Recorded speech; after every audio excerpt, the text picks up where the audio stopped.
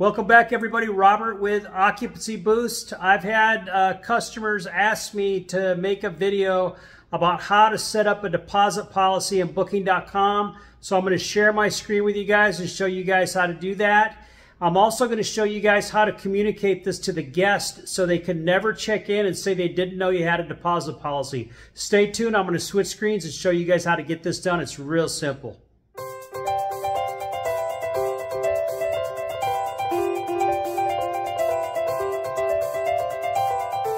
Okay, I'm in the booking.com extranet right here.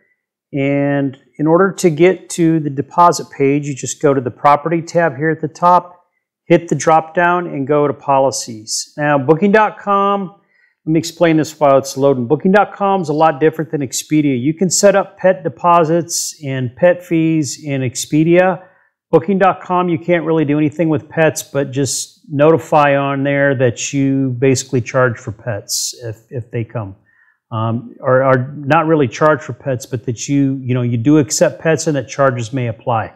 That's all you can do. But I'm going to show you guys at the end of this video how to kind of get around that a little bit. Um, it's worked really well for me at my other properties.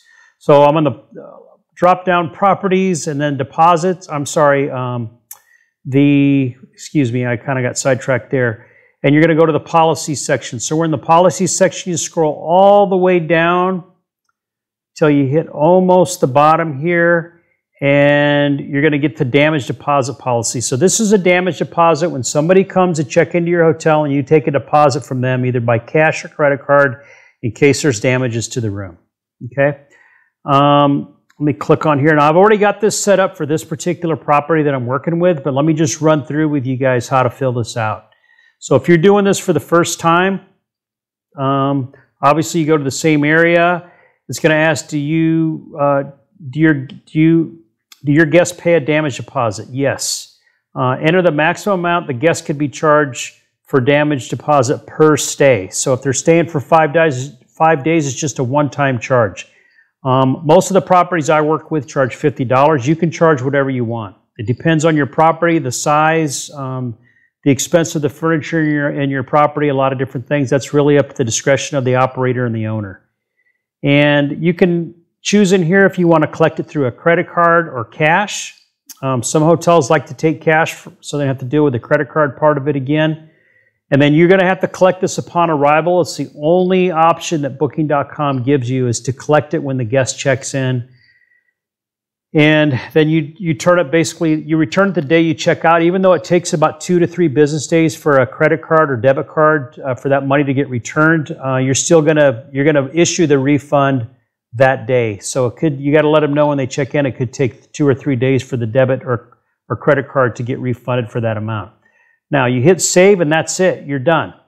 Let me show you what this looks like on booking.com to a customer. So once the customer is getting ready to book your room, they've chosen the room type and they go through here and they're filling out all their information with their email address, their name, and their profile before they book your hotel. Down here on the left-hand side, as you can see, it shows the total amount, it shows their taxes, and then right here it says damage deposit, um, fully refundable.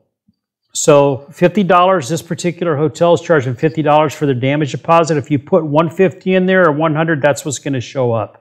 They don't pay for it when they book their room. They pay for it when they arrive at the hotel.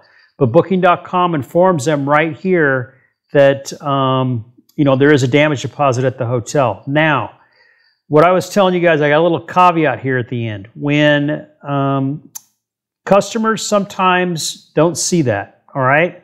Other customers see it, pretend like they never saw it. When they check in, they say they don't have the money, they don't have the cash, or they don't have money on their credit card for the, for the damage deposit. There is a way around that. And what you could do, let me go back to the booking.com extranet here. Let me go to the top of the page.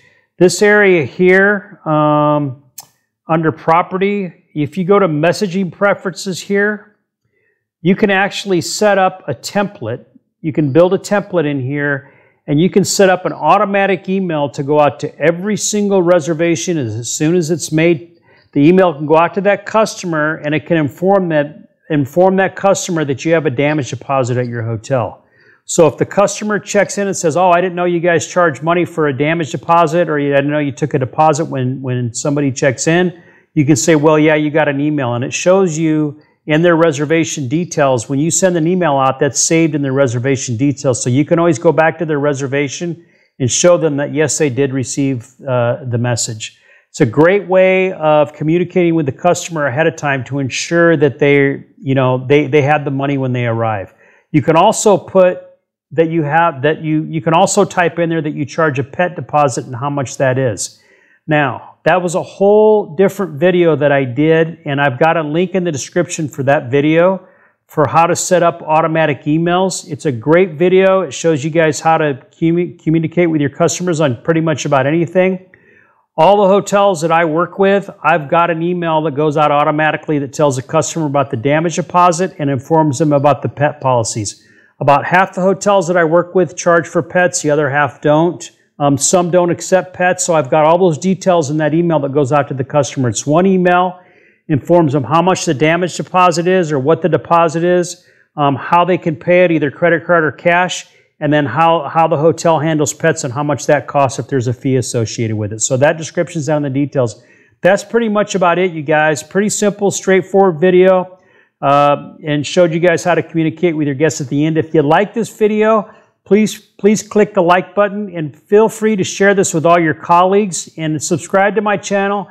I've got more videos coming out. This extranet, these extranets for the OTAs are huge places, and I try to make your life easier by, by making these short videos and giving you guys some insight into how you can better communicate with your customers and be more successful at your hotel. We'll see you in the next video. Thank you very much.